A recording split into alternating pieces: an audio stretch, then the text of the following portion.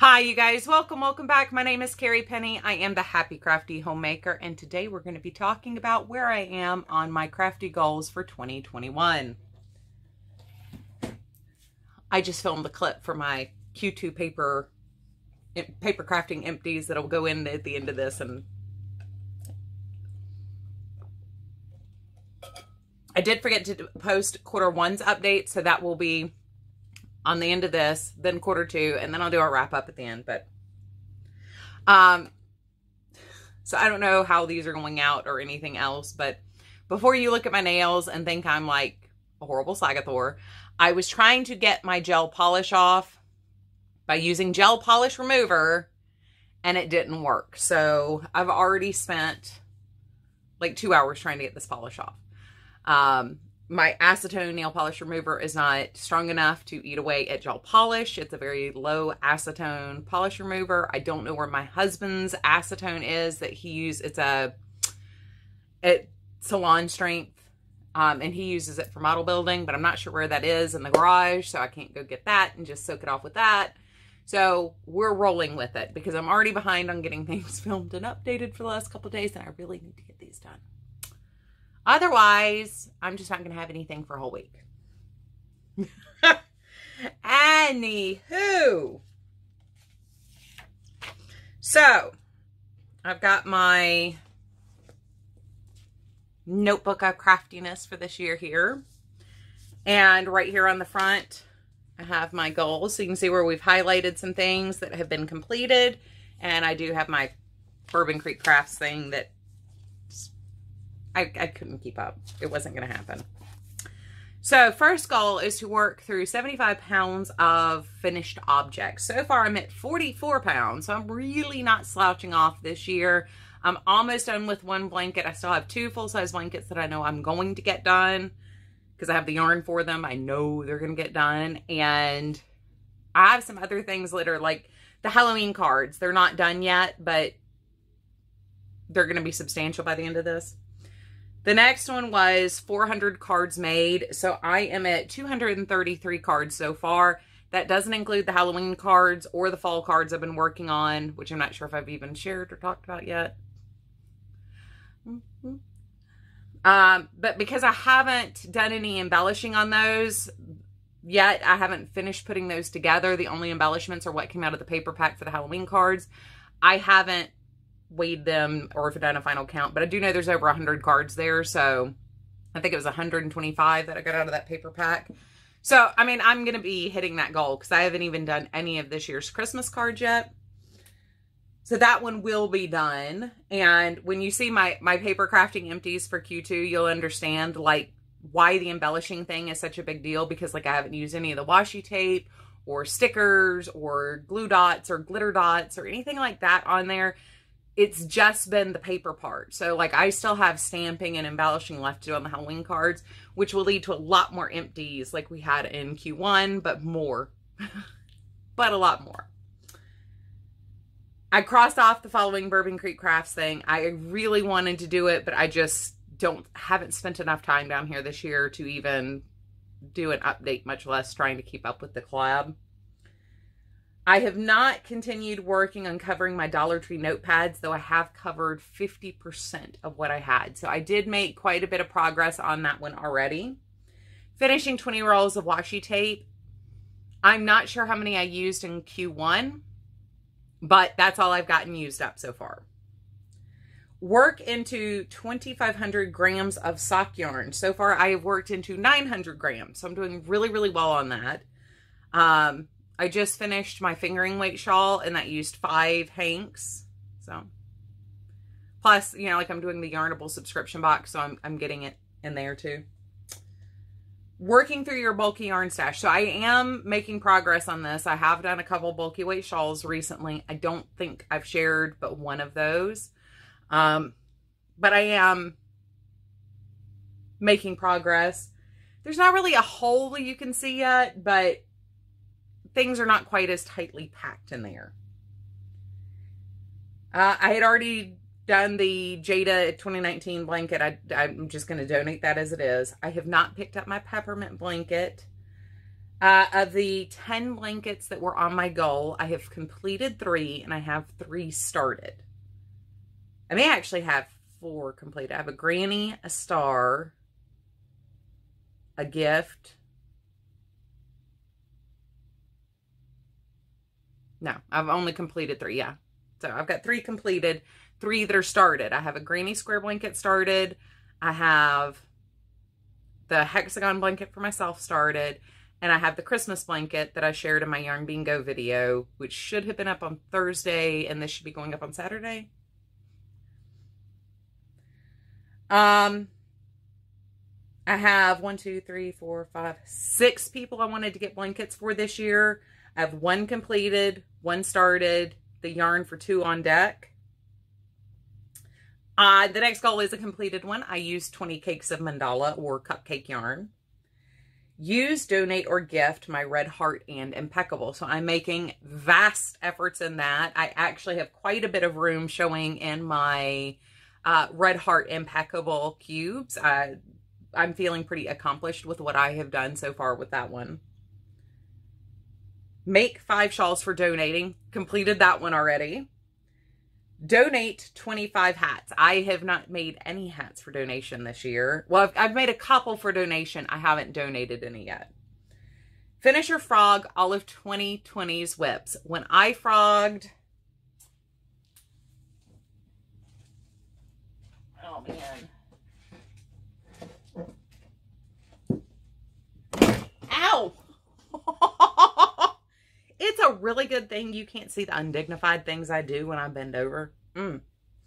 When I frogged these socks and restarted them, that made me meet that goal.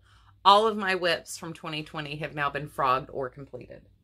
And I just counted that as completion because I just frogged it and restarted it immediately. I wanted to make one sweater. So far this year, I've made three. Use enough yarn to put holiday paper pads on my Kallax unit. I don't think that's going to happen. Um, when I set up my yarn budget for this year, it was very generous, very, very generous. And my husband has insisted on two different shopping trips for higher end yarns that were not planned. And uh, I don't think I'm going to make quite enough room for that don't think that's going to happen. But I do have plans to rearrange my desk area here in the next couple weeks. I've been slowly doing some smaller organization projects. Now I'm to the point where I think I'm ready to start redoing some furniture arranging in here. So uh, with that will come some other places where I could put the holiday paper pads in a more obvious storage area to go with how I use them. Uh, my starting yarn band budget was $246 based on how much yarn I used last year. As the year progresses, I can add more based on what I finish using. So right now, my yarn budget stands at $125.95. That takes us all the way through the Knit Picks fingering and lace weight sale. I did not purchase anything on the worsted weight sale as of yet. Um, this month I added $18.95. Next month I'm probably going to be adding closer to $50 based on where I'm sitting on like blankets and stuff like that that I'm working on.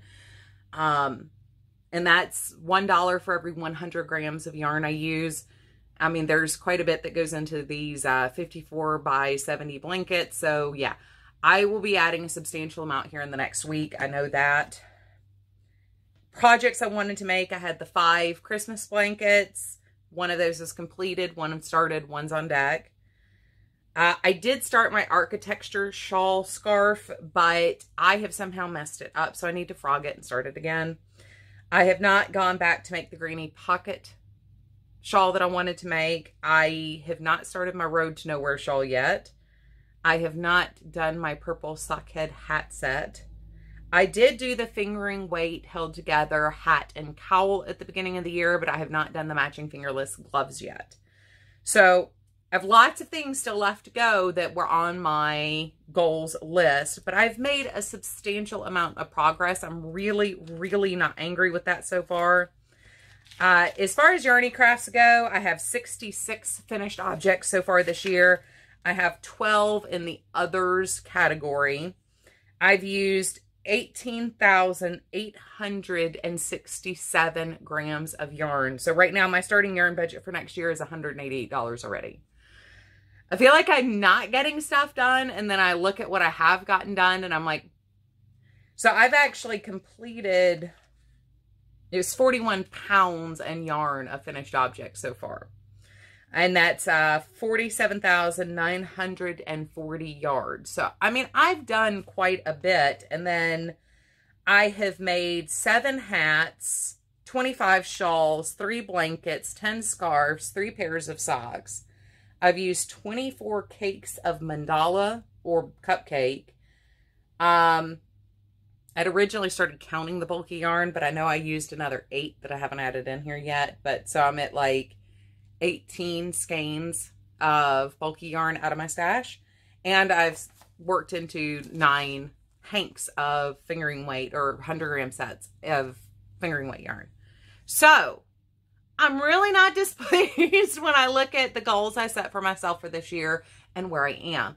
Now, just a reminder, these goals are not Carrie must do, Carrie disappointed if not finished. These are just things to keep me engaged mindfully in how I'm crafting, how I'm purchasing, what I'm planning on doing. It helps me to remember like what I really wanted to do or what I had set out to do. If I don't do something, that's fine. Like this isn't I mean aside from the Christmas blankets, like I'd really like to get those first four done for the kinders in my life. Um like if I don't finish something on the list, like that's okay. There this isn't a I'm a bad person if I don't do something. It, it's fine. I just want to be mindful when I'm crafting as well as enjoying myself. So I'm allowing myself to just enjoy what I'm doing and go for it from there. So yeah, I uh can't really complain with the progress that I've made. I'm rather pleased with what I have done. I feel accomplished looking at my list of things. And that's one of the reasons why I do track so much. I track my weight, I track my yardage, I track the number of finished objects for the year. Not to mention in the, the middle section here, you know, I track, you know, the project itself and with its data and information. I like seeing what I have done, where I have been this year, being able to go back to things. I really need to get my pictures printed and stuck in here but that's a project for a rainy day when I know what's going on for more than an hour at a time. um, it, it, it, this week's been a little, little wonkadoo. Uh, but yeah, I, I, I really am happy with where I am. I do have uh, some things I, I'm thinking about adding to the list for next year, like doing the finishing work on certain things, like putting buttons on stuff. I have a bunch of stuff that needs buttons sewn on, and I still haven't done it. Uh, I do have a sweater on deck. I want to do another campfire cardi. I'd originally pulled out some purples and pinks, but now I'm thinking I want to use this color and this color with a cream or a white. I'd originally bought those on clearance to do a blanket. But now I kind of want a sweater out of them. And I think with that one, I would do the hood. Just like a little springtime, toss it on. Yeah, that's where my brain is right now. Uh, I've got a lot of things where I'm like really super excited about starting them, but haven't started them yet. I'm really wanting to get started on them. And that's kind of part of my problem too is I have a bad case of starteritis. I generally do.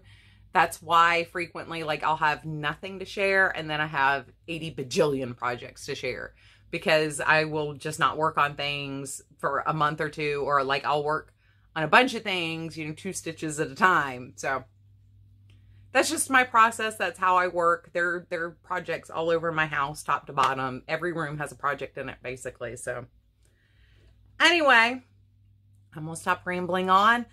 Uh, actually, I'm not. So I'm going to be inserting the clip of my quarter one paper crafting empties, then my quarter two paper crafting empties. There's excuse me, be a really awkward ending at the end of that just because I'm going to end the video here, but I did want to add those clips in now. like I said, the quarter two paper crafting uh, empties, you'll understand where I'm like, that happened. Anyway, you guys, so I hope you enjoy seeing what I did get out of my paper crafting stash and used up. Hopefully here in the next quarter, we'll have a lot more of the washi tape, stickers, rub-ons, decals, things like that coming out of my stash because they'll be getting used on finishing up the fall cards, the Halloween cards, uh, I do have a batch of cards that I will hopefully be sending out here shortly to some family and friends. so much to do. So much to do. Anyway, guys, I love you. Please take care of yourself. Enjoy seeing what I used up so far this year for paper crafting, and I will catch up with you guys real soon. Bye, guys. Hi, you guys. Welcome, welcome back. My name is Carrie Penny. I am the Happy Crafty Homemaker, and today I'm going to be sharing with you guys what I emptied in my paper crafting for the first quarter of 2021. So, I've been sharing with you guys, like, kind of my empties, just because I find emptying things out to be a very exhilarating kind of thing. I don't know why. So, let's start making heads or tails out of this. I probably, should have done this, you know, before I click, you know, start on filming. But, you know, hindsight's 2020 and it is what it is. So, oh, wow, I had forgotten about some of this stuff. This is kind of fun. All right. First off out of the box, I finished off, make sure these are all the same thing, all of these planner stickers. Now, there are a couple stickers left on there, but they're stickers I'm never going to use, and the sheets are not worth saving or donating. I'm going to go ahead and just chuck the last, like, 10 stickers that are on these. Some of these got cut to fit my needs. Some of these have been in my stash now. I don't, I don't, I'm not a, I'm not one of those, um, pretty planner people. I, I use my planner to literally do what I need to, to do. I need it to tell me what I'm supposed to do that day. Um, so I get a lot of like these that come in my planner that I get every year. And then I got gifted a whole bunch of these, uh, they're from Recollections. They're really, really cute and stuff, but they're just there to decorate your planner. So I did use a bunch of these. These actually, one year had seven dots and one year had 10 dots on it for some reason. But uh, I've cut the, the, the 10 down so I had seven and I'm using them to mark, you know, days I work out and things like that. But that's a huge stack of sticker sheets. Then I've got one, two, three, four, five, six, seven packages of stickers from my stash that I went through. I've got, this doesn't tell you what collection it's from. Or maybe it doesn't, I just can't read it on there.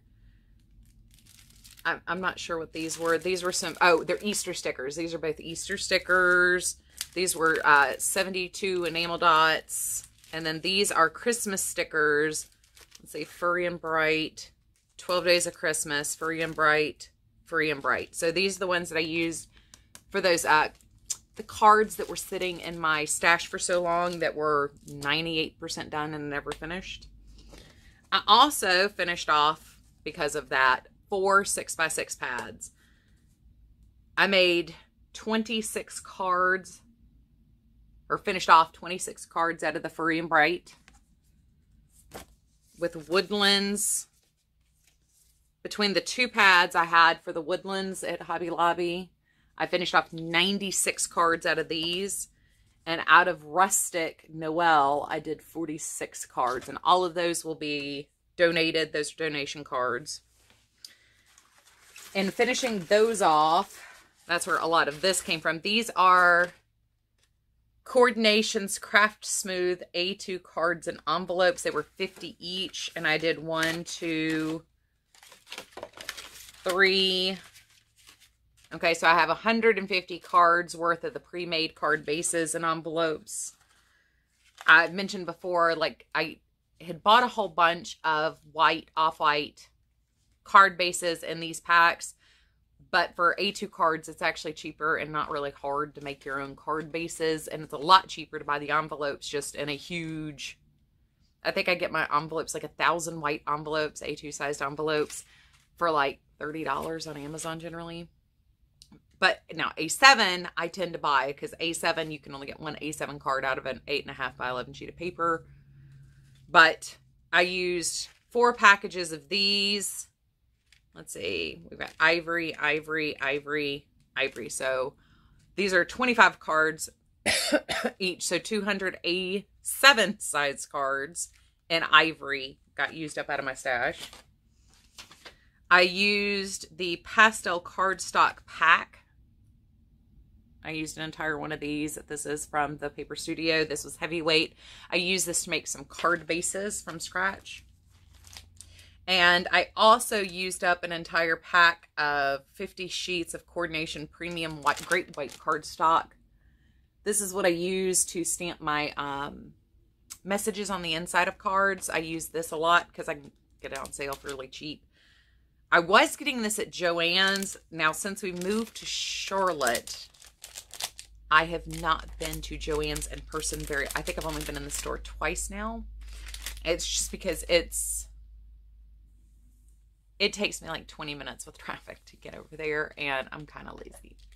Might take me more than 20 minutes actually to get over there. Hobby Lobby, I'm normally halfway there. That's also 20 minutes away from me, but I'm normally halfway there already because I go after I go to the post office and the post office is on the way.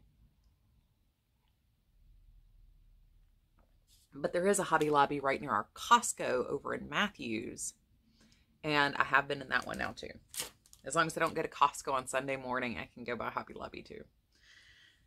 Next up, I went through, I love how you're looking at the top of my head here. One, two, three, four, five, six, seven, eight, nine rolls of ATG. Like I've said before, uh, this is, you know, I enjoy seeing how much I've used and gone through, but this isn't a supply that I'm trying to get out of my stash or use up. It's something that is a reoccurring need. I am trying the ATG rolls from Tape Jungle right now. I'll let you guys know at some point how I feel about it. Uh, I haven't used it long enough to really have a finite opinion, but I do know that a couple of people like Call Me Crafty Al, Bourbon Creek Crafts. Oh, who was I watching the other day? Who was talking about? Was it Jess Crafts was talking about having used the Tape Jungle ATG?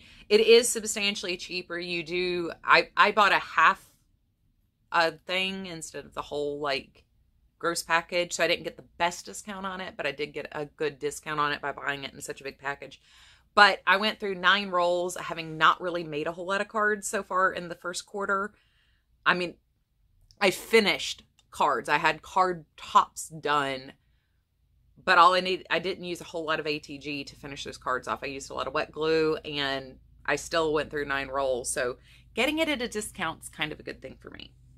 And then I also finished one, two, three, four, five, six, seven rolls of washi tape. My goal this year was to finish off 20 rolls of washi tape, so I'm well on my way to reaching my goal there. Now, some of these were used in finishing or uh, making my craft journal for 2021 because I lined the pages with washi tape to help make it all pretty.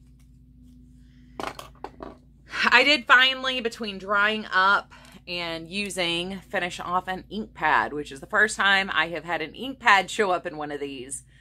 Uh, it is, it still feels like it's wet, but there's just nothing coming out. I was not getting any payoff anymore with it. I use this for trying to break up stuff on the edges, um, ink the edges on pieces on cards. That's that's kind of what I use this for. I prefer the chalk look keep getting really cool shine. But I guess Studio G is Joann's.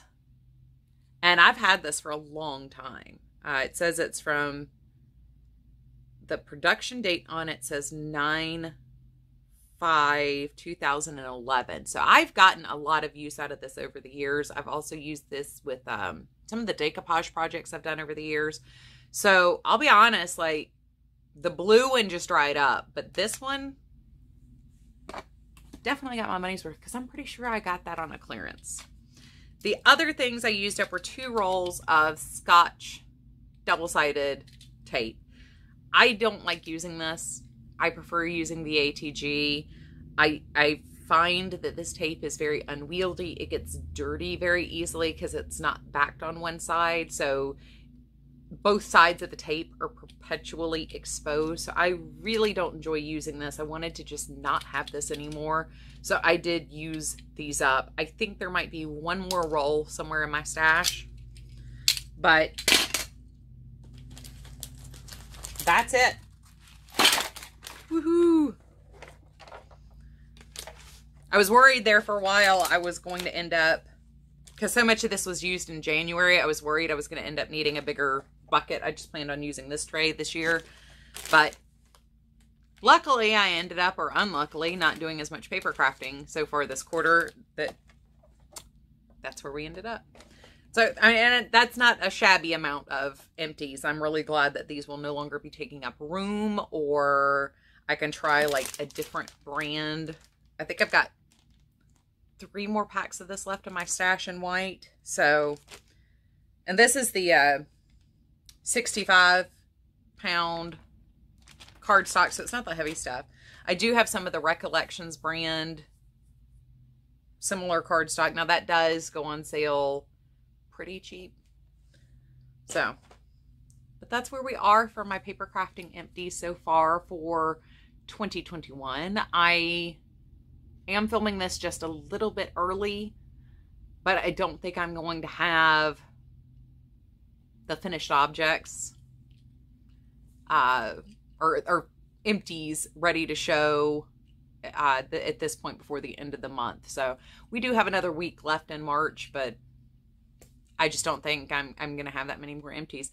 And if I do, I'll just share them with quarter two as empties. So anyway, you guys, I hope you're having a fantastic day. I love you guys, and I will see y'all real soon. Bye, guys.